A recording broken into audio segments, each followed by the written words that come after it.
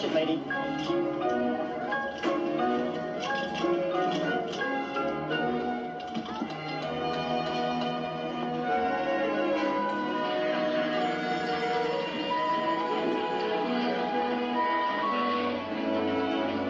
Excuse me.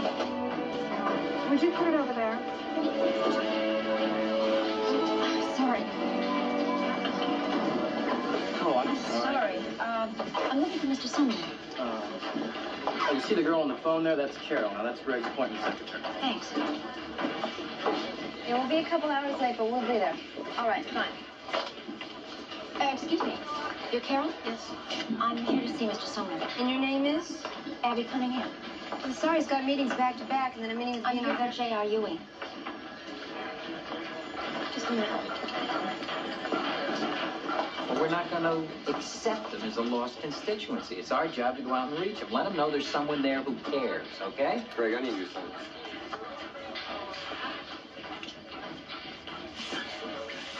Somebody here from Ewing. Okay, thank you.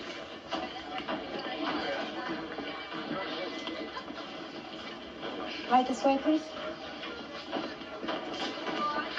Greg, this is Abby Cunningham. She's here for J.R. Ewing. Hello. Hello. J.R. sends his apologies. Oh, well, none are required. You can get Jimmy on the phone for me. Sorry about the surroundings. We're just in the process of setting up my campaign headquarters. No apologies are necessary. Mr. Sumner, Please, call me Greg. thank you. Well, Greg, I really appreciate your taking the time to see me. Abby Cunningham. Now, why does that name sound so familiar? Well, maybe you read Valley Ewing's book. Are you married to Mack MacKenzie? Mack MacKenzie? Me? no. Your sister-in-law is married to Mack MacKenzie. Right. How is it? Mack's fine. You know, we worked on Wall Street together after law school. Did you? I should give him a call. Greg, uh, the reason I came here is to uh, offer you some help. Great. From Ewing Oil. It's no secret, of course, that you're about to announce your candidacy for the United States Senate, and This wouldn't have uh, anything to do with Ewing Oil's plans for some offshore drilling, would it? well, we just realized how expensive a campaign can be these days. But if that's the case, I just wouldn't be able to accept this.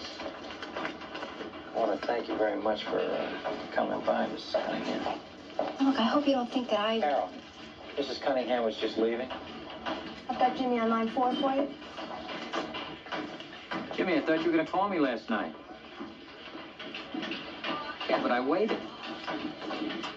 Look, it's never.